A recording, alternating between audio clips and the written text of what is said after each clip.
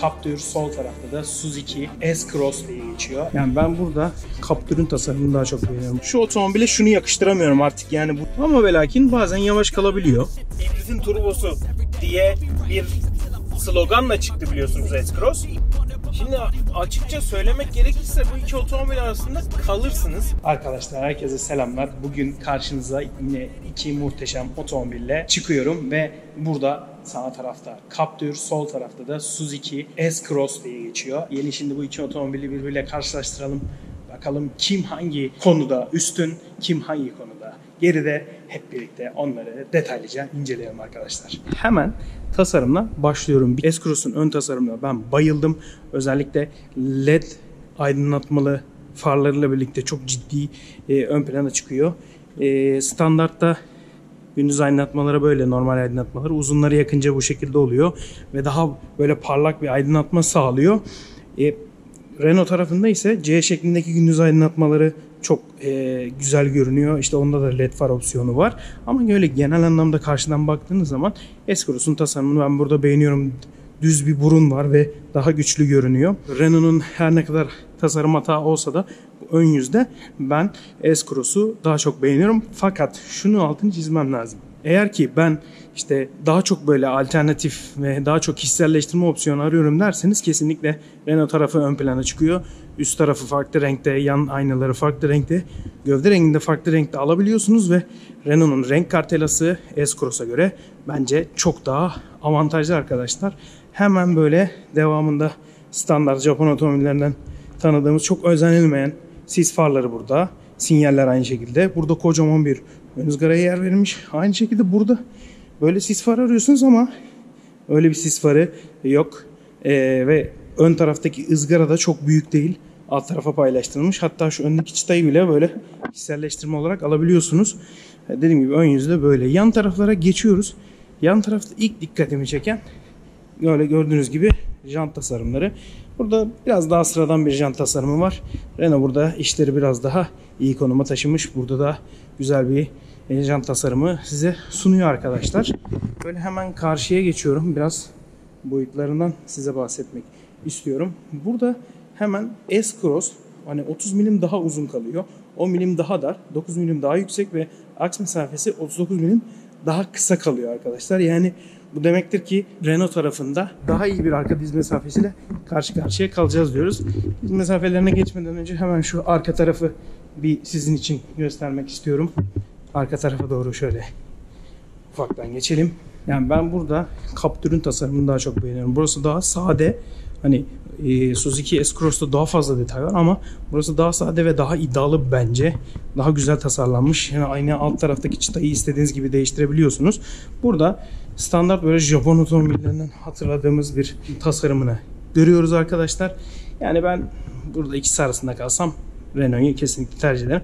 Bu böyle içleri görünen e, stop tasarımı artık çok eskidi ve bence bu otomobile yakışmıyor arkadaşlar. Hemen gelelim. Şurada 422 litrelik bir bagaj hacmi var. Burada ise 430 litrelik bir bagaj hacmi var ama şöyle bir şey var. Renault'da şöyle güzel bir avantaj var. Mesela onu hemen size göstereyim.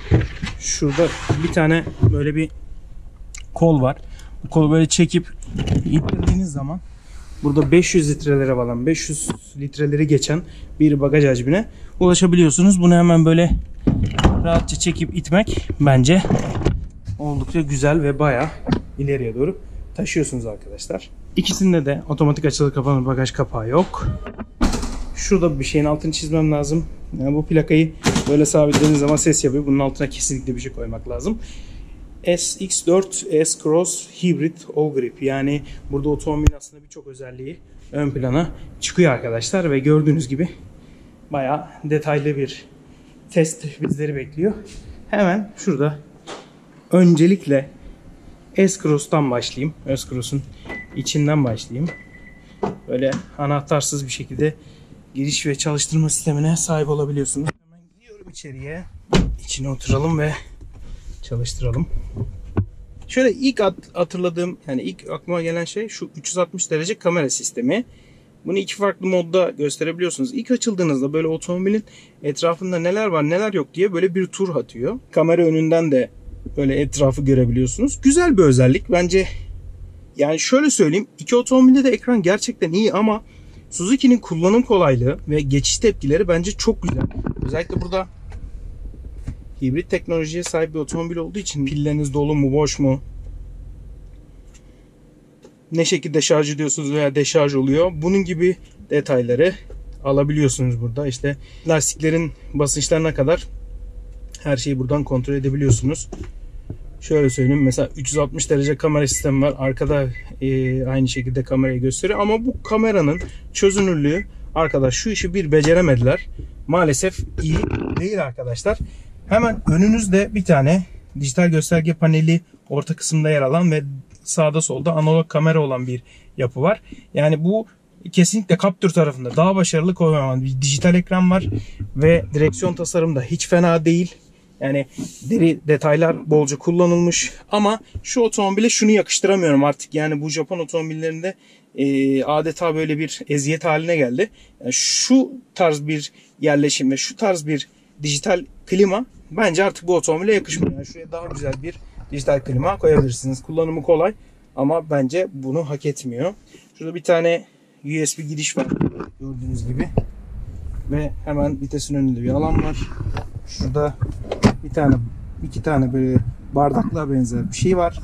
Ve tabii ki burada sürüş modlarını seçebileceğiniz, dört çekere geçebileceğiniz ve diferansiyeli kitleyebileceğiniz detay var. E, mekanik el freniyle burada sunuluyor. Yeteri kadar bir kolçak alanı size sunulmuş. Ve gelelim malzeme kalitesine. Yani ben bu otomobilde hakikaten şaşırdım. Burada sert malzemeler var. Burada da sert malzemeler var. Otomobilin birçok noktasında sert malzeme bizleri karşılıyor. Yani bu tarz otomobillerde yumuşak malzeme arıyorum ki Renault'un Captur'u bu konuda beni çok büyük cezbediyor. O zaman hemen gelin bir Captur'e geçelim. Anahtarla yaklaştığınız zaman hemen açıyor sistem. Herhangi bir tuşa basmanıza gerek yok. Şöyle önümdeki gösterge paneliyle başlayayım. Gerçekten çok güzel e, ve farklı sürüş modlarına göre değişim gösteren hatta şurada yapmışken hazır göstereyim. Tamamlayalım. Şuradan hemen spor modunu seçelim. Spor modunu seçtiğinizde farklı bir gösterge paneline bürünüyor arkadaşlar. S-Cross'tan hemen üst yönünü söyleyeyim. Yumuşak malzemeler var. Burada da yumuşak malzemeler var. Ve şöyle hemen belirteyim. Şu alan yani eşya gözü konusunda kesinlikle S-Cross'tan Captur çok daha iyi konumda. Burada bir alan var. Burada hemen geride iki bardaklık var. Yetmezse şurada alt tarafta da bir alan size sunulmuş. Bence hem eşya gözü konusunda hem de malzeme kalitesi konusunda otomobil oldukça iyi olduğunu gösteriyor. Şimdi mesela bakın bu 360 derece kamera sanki biraz daha iyi. Şöyle bakalım. Yani yani biraz daha iyi olduğunu gösteriyor bakayım. Geriye alalım. Gösterge paneli biraz daha iyi. Şu ekran çok iyi ancak hani kullanım anlamında biraz böyle yavaş kalabiliyor bazı noktalarda. Özellikle hani çok güzel detayları var. Yani bütün böyle uygulamaları buradan takip edebiliyorsunuz. Ama ve lakin bazen yavaş kalabiliyor. Bu yavaş kaldığı için de hani can sıkabiliyor bazı durumlarda. Genel anlamda hemen klima kumandaları burada. Tek bölmeli bir klima var. En büyük dezavantajı da bence tek bölmeli klima olması. Yani bu otomobilde tek bölmeli klima bence olmamalıydı. Öyle görünüyor. Şimdi hemen şurada koltuk tasarımına da bakalım. Bence buranın koltuk tasarımı çok daha iyi S-Cross'a göre. S-Cross'ta da daha iyi bir baldır desteği var ama genel anlamda hem tasarım anlamında hem de iyi yan destekleriyle birlikte bence burası başarılı arkadaşlar. Şimdi gelin S-Cross'un arka tarafına bir bakalım arkadaşlar. Koltuğu ben kendime göre ayarladım ama şöyle bir detay var. Mesela şu gördüğünüz aydınlatmalar orta tarafı çok iyi aydınlatıyor ama burası bakın yani resmen klostrofobi yaşıyor. Öyle söyleyeyim size. Şimdi ben yolcu koltuğunun arkasındayım. Sürücü koltuğuna göre ayarladım ikisinde. Burada yaklaşık olarak şöyle 3 santimlik yani 3 parmaklık bir alan sunuluyor. Baş mesafesi de fena değil sınırda. Ama dediğim gibi şu e, diz mesafesini ben oturduğum koltuğu çekerek e, tamamen sıfıra sıfır yapabilirim. Sıfıra sıfır yaptığımda arka alanı kullanabilirim. Ama tamamen de geri çekerek burada bayağı geniş bir alan kendime sunabilirim arkadaşlar. Şimdi gelin S-Cross'a geçelim ve orada arka diz mesafesi nasıl ona bir bakalım. Ha, arkaya geçtiğiniz zaman klostrofobi biraz daha az burada. İyi bir aydınlatma sunmuş. Bakın burada bu aydınlatma her yeri aydınlatıyor. Şöyle bakalım. Yani 3 parmaklık ya da 2 parmaklık diyeyim. Hemen şöyle göstereyim. 2 parmaklık bir alan size sunulmuş. Yani iki koltuğu da birbirine yakın tutmaya çalıştım. Bu alanda biraz daha Captur'un avantajı kullanılabiliyor. Arkadaki koltuğu ileri geri ittiğiniz için. Ve tabii ki bir de hani baldır desteğinin Captur'da daha iyi olduğunu söylemem lazım. Arka tarafı için konuşuyorum arkadaşlar. Çok fazla detaya boğulmayalım. Bir de gelin bu iki otomobili yolda test edelim. Ve bakalım bize neler vaat ediyor. Hep birlikte görelim arkadaşlar. Hemen Captur'le sürüşe başlıyorum arkadaşlar. Şimdi burada bir kere hemen şundan başlayayım. Yani S-Cross'ta hibrit teknoloji baya baya kendini gösteriyor. İşte gazdan ayazı çektiğiniz zaman fren yapıyor. Gaza bastığınız zaman ekstra ilk kalkışlarda ve ara hızlanmalarda e, elektrikli motorun devreye girdiğini hissedebiliyorsunuz. O gücü arkadan sizi ittirdiğini hissedebiliyorsunuz. Burada yani Renault tarafında da var ama mild hibrit teknoloji var. Onun çok etkisini göremiyorsunuz. Fakat Renault'un öyle bir güçlü yanı var ki, öyle bir güçlü kozu var ki 1.10'da 3 litrelik ve Clio ile birlikte ün salan bir turbo benzinli makinesi var. 140 beygir ve 155 beygirlik versiyon seçenekleri var. S-Cross tarafında ise 129 beygir güç üreten bir makine var. Buna ekstradan hibrit motorun da bir desteği oluyor ve 3 aşağı 5 yukarı performans olarak eşit hissediyorsunuz. Ama kağıt üstünde Renault üstünlüğünü gösterebiliyor. 0 100 hızlanması 140 versiyonu modelin 9.2 saniye 155'lik alırsanız 8.2 saniye tabii ki S-Cross tarafına baktığınız zaman 10.2 saniyelik bir hızlanma görüyorsunuz. Orada 6 ileri bir otomatik şanzıman var. Burada 7 ileri bir otomatik şanzıman var. Şimdi hemen şunları kıyaslayacağım. Şanzıman geçiş hızı konusunda S-Cross çok daha iyi ama o ağırlığın vermiş olduğu handikap sebebiyle ve çünkü orada bir 4 çeker sistemi var. Yani tamam 4x2'ye göre çok fazla bir büyük ağırlık bilmiyor otomobilin üzerine ama genel anlamda hacimsel bir ağırlık var.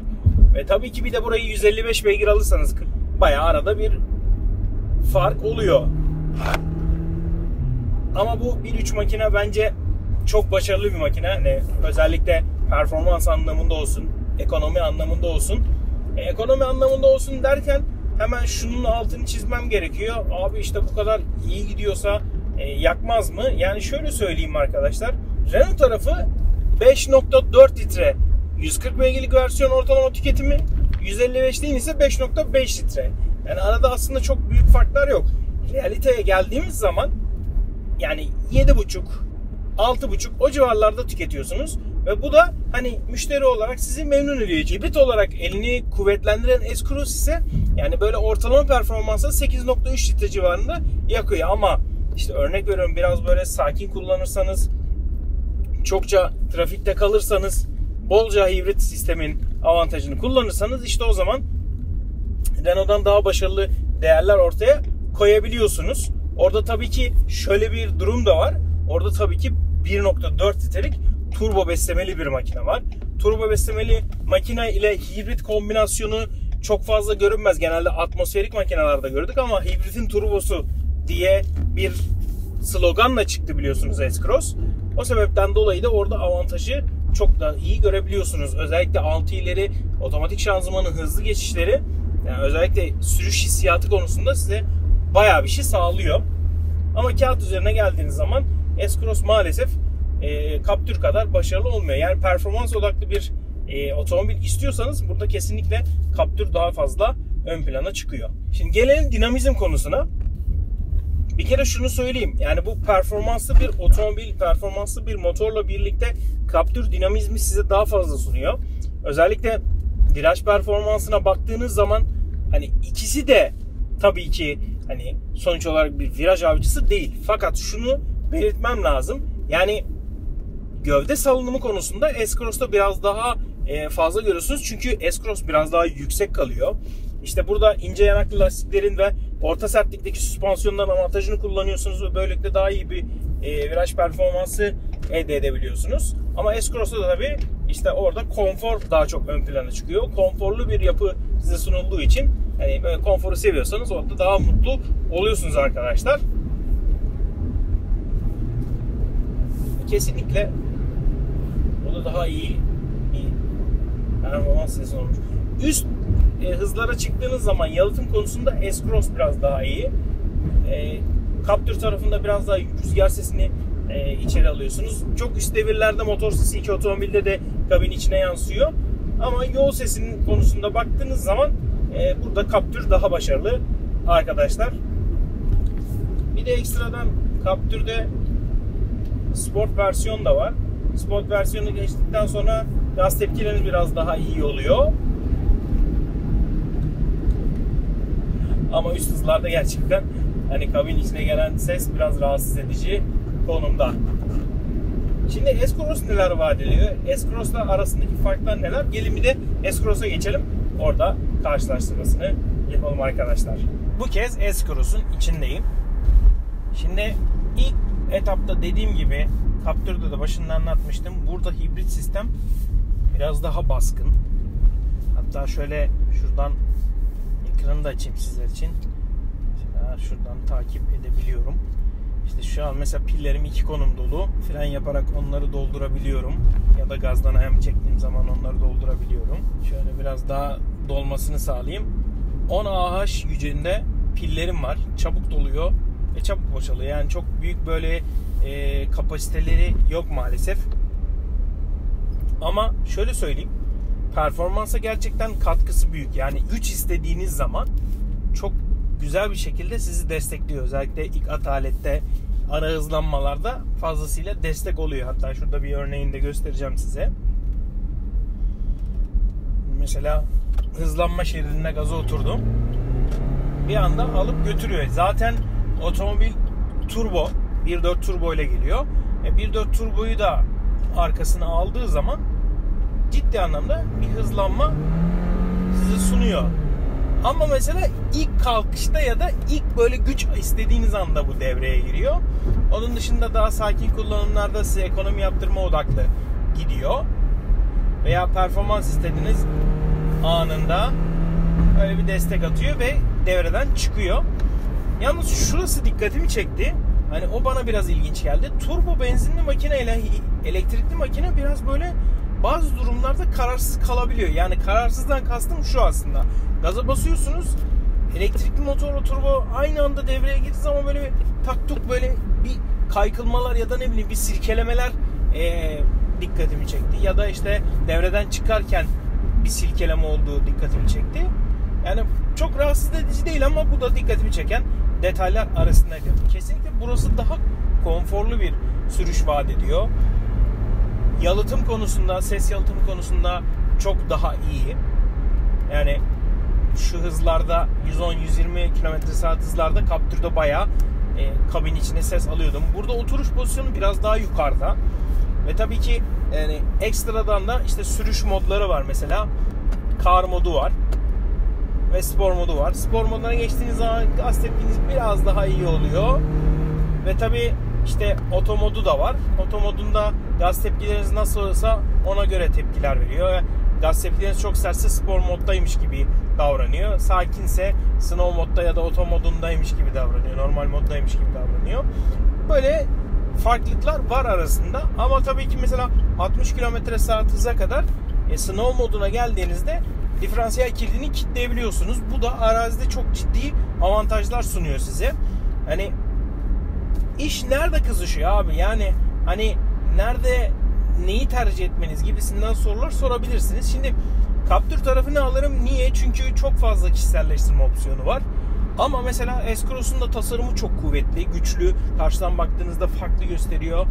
Birçok avantajı var. İşte 360 derece kamera var. Çok daha iyi çalışıyor. E, hibrit sistem var. E, ki yani ilk kalkışta ya da işte ne bileyim ara hızlanmalarda size fazla fazla avantaj sağlıyor. Bu sebepten dolayı S-Cross'u tercih ederim. Çok güçlü performanslı bir makine e, arıyorsam Captur tarafındaki 155 beygirlik 1.3 litrelik e, turbo beslemeli versiyonu alırım. Çok daha iyi buradaki turbo makineye göre. E, hacim istiyorsam, arka bagaj hacmini arttırmak e, veya azaltmak istiyorsam, arkadaki diz mesafesi daha olsun diyorsam Captur tarafını tercih ederim. İşte orta ekran biraz daha iyi olsun. E, burada hani biraz daha avantajlı olun dersen S-Cross tarafı biraz daha iyi. Ama işte malzeme kalitesi iyi olsun, iyi hissettirsin dersen bu sefer Captur tarafı daha fazla ön plana çıkıyor. Böyle farkları var. Günün sonunda güncel rakamları da alt tarafa yazarım arkadaşlar. Hani sizin aslında ben e, tercihinizi merak ediyorum. Siz olsanız mesela bu otomobillerden hangisini tercih edersiniz? Ya da bu segmentte abi ikisini de boş ver. Benim tercihim kesinlikle şu olur dediğiniz modelleri de lütfen, lütfen alt tarafa yazın arkadaşlar. İşte gelelim yani güvenlik donanımlarına. İşte iki otomobilde de kör nokta uyarı sistemi var. Adaptif cruise kontrol sistemi var. Aktif fren destek sistemi var.